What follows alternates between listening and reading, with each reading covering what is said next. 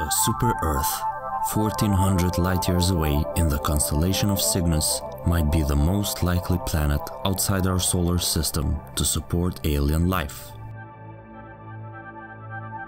Almost 4,000 planets have now been discovered orbiting stars other than the Sun.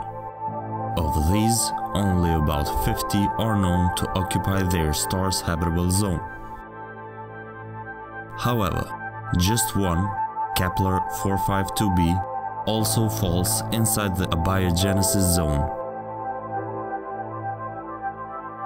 A planet in that zone is bathed in the right level and type of ultraviolet radiation from its star to kickstart chemical reactions thought to have given birth to life on Earth.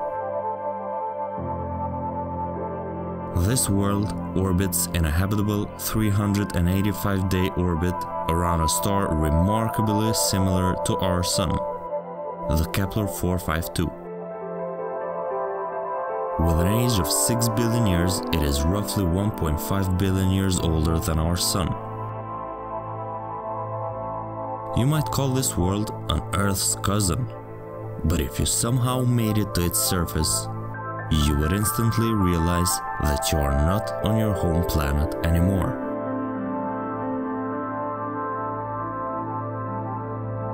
Kepler 452b is 60% wider than Earth and probably about 5 times more massive, so its surface gravity is considerably stronger than the pull people are used to here.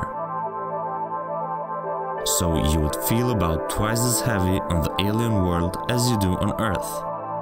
Former NASA astronaut John Grunsfeld said, If we were there, our bones would actually get stronger. It would be like a workout every day. Researchers suspect that the planet is rocky, just like Earth, but they don't know for sure since the exoplanet is too far away to get a good look at. Based on modeling work, Kepler 452b probably has a thick atmosphere liquid water, and active volcanoes. This world was discovered by NASA's Kepler Space Telescope and announced in 2015. Here's a fun fact. At the speed of New Horizons, the fastest spacecraft yet launched by humanity, it would take over 25 million years to get there.